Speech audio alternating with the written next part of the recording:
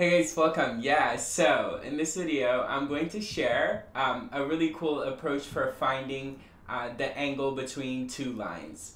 Um, and so, you know, you're given these two lines either on the coordinate axes where you're able to like pick out a couple of like points by just looking at them. In other words, you have like points that are not dubious as to where exactly they are. That is, you have lattice points. So you have a visual of these two lines, or you know the equation of these two lines. So that's what we assume before you could implement the strategy that I'm going to talk about here. And also, like, um, yeah, so my two most frequently used um, fonts are ST Peng Song and Xingkai SC. I loved them for a long time, and then like just um, kind of like to uh, try something different, I went with this and like some fonts are I guess a little like too fancy to be practical. I almost feel this way about um, this specific font, but a really random side note. okay, uh, let's get back to what I said we were gonna do. Angle between two lines, right? So that's our x-axis, that's our y-axis. Let's say that um, one of the lines has that point and the other point is uh, 0 comma 5. So uh, we've got the line subtract the coordinates of A from the coordinates of B, right? And also, because it's a bit cumbersome to write the vector AB, let's just call it the vector U. Okay, cool. So the vector u, we're saying we can find its components by subtracting the coordinates of a from the coordinates of b in this manner. And when we do this, what we're doing is we're putting the vector ab in standard position so that its initial end is at the origin. Uh, in other words, uh, the vector u, which is the vector ab, uh, in component form can be written this way and what we've done in writing it in this way is we've moved it from where it's at right now so that it starts at the origin. That's what it means to have a vector in standard position, that its initial end is at the origin and that's what you're doing anytime you take two points and subtract them to um, figure out the components of the vector, you're just relocating that vector so that it's anchored at the origin, yeah?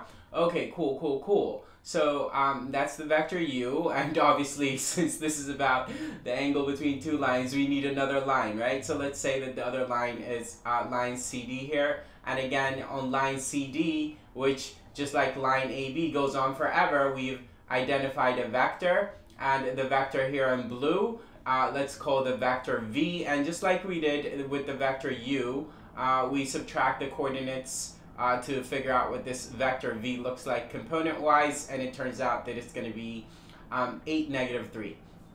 Okay, cool. So you see that if you're given two lines, uh, what you could do is identify two vectors on the two lines, and this is of course for the purpose of finding the angle between the two lines. But yeah, you can create two vectors on the two lines by basically figuring out two points on one line and then subtracting the coordinates in the manner that we have done and doing the same on the other line. Now, notice that the length of these vectors does not matter for the purpose of finding an angle between the two lines. So you can pick the two points on one line, say, as close as you want or as far apart as you want.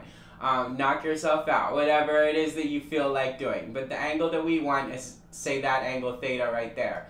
That, of course, is the acute angle formed by the two lines where we'd say that the obtuse angle is over here. Obviously, if you can find this angle theta, then you can figure out this uh, bigger angle right here between uh, the two lines, right? So all I'm saying here is that there are technically uh, two different um, types of angles that could be formed when you have two lines meeting, an acute one and an obtuse one, right? Um, and on one specific case, uh, they could both be perpendicular, um, and so both angles could be um, neither acute nor obtuse. Uh, that's like being too specific in my mathematical analysis for a simple question. So let's um, keep going. So, well, relatively simple. Okay, so now uh, notice that the equation of the two lines are this for line AB and then this for line CD. Notice that for line CD, I didn't care to figure out the y-intercept because for the purpose of what I'm about to communicate, we don't need to figure out the y-intercept of the lines all we need is the slope of the lines. And you should already see what's happening. If you look at this and then look at this, and if you look at this and look at this, that is, if you look at the components of the vectors and the slope of the respective lines, you should see what's happening.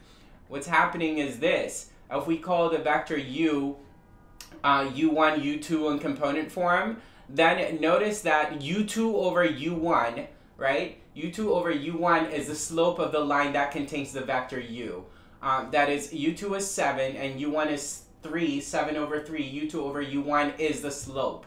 Yeah? Okay, so what I'm saying is, if you found it laborious to identify two points and then construct a vector on the line through that way, then what you could do is, if you can know the equation of uh, the line in slope-intercept form or in any other form, you could just figure out the slope of the line and then see that u1 over u2 in this manner is going to be the vector that you're going to construct on that line. So in other words, you can very easily construct a vector on a line by just taking the slope of the line and then writing it in component form as a vector where you lead with um, the denominator of the slope first. So that's the u1 and then yeah, you get it, you get it, you should get it. Otherwise, ask questions and I'll answer. So I've said enough.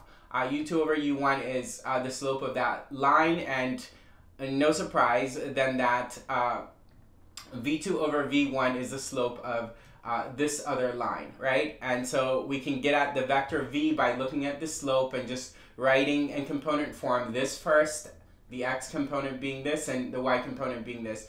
And of course, it should not come as a surprise that in the vector component form, the x component would be the 8 and the y component would be uh, the uh, negative 3 because, well, this is rise over run. So the rise is the y and the run is the x. Yeah? Okay, okay. You should have seen that without me having to explain it, but it's all good. It's all good. I was happy to.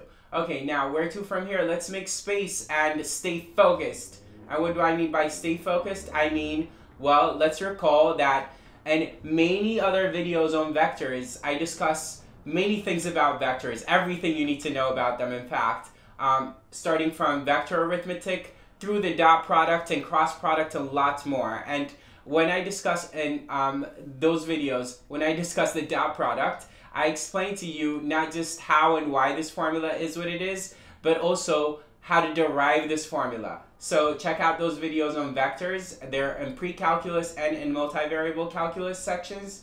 Uh, but yeah, check them out and you'll learn lots, everything you need to know about vector. But we know that the dot product is this. And notice that from here, we can divide both sides by the length of u times the length of v. That's what this is saying. Yeah, we divide both sides by this here, and then we can isolate cosine theta. How nice, because since we know our vector u and our vector v, forgive me, I forgot to color code v, but I noticed that I forgot. So did I really make up for it? Maybe, maybe, but yeah, forgive me uh, for not color coding this blue. It's blue. Use your imagination but we've got u and we've got v, right? So then we could do u dot v. We know how that goes. This is u dot v, right?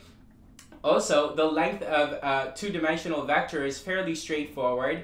We just take the square root of the x component squared plus the y component squared, right? That's for u, and for v it goes very much um, the same way, and so this is the length of the vector u, and this is the length of the vector v. And so those are what are going to replace this fella and this fella, and therefore this fella and this fella clearly u dot v is going to be replaced by 3, right? So then, putting all this together, that is making all these substitutions, we see that the cosine of theta is equal to this left-hand side. Now, if you're doing things correctly, the cosine of theta cannot be less than negative 1 or um, more than 1. We can clearly see that this is between negative 1 and 1. And so no worrying, right? And so the only task that remains is to take the cosine inverse of both sides of this I'm not much of an arithmetic guy, as I've said in previous videos, so I'm not going to do the computation for you. But if you do the cosine inverse and your calculator, and in this case, I can't tell you anyway without a calculator. But yeah, if you do the cosine inverse of this in your calculator, you'd be able to figure out what this angle theta is. Yeah? Okay, cool. I hope you enjoyed this. Lots more to come. Keep watching. Take care.